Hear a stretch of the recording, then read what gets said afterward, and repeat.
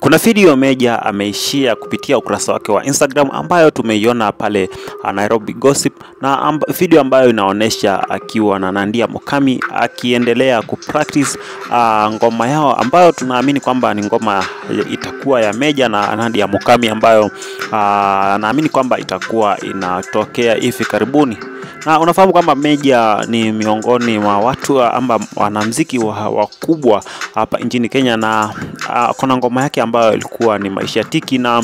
baada ya kutolewa pale YouTube inaonekana kwamba ameamua kuja tena na video nyingine ama ngoma nyingine, na ukiangalia uh, kwa hiyo video ambayo ameshare kupitia Nairobi Gossip Club pale uh, katika Instagram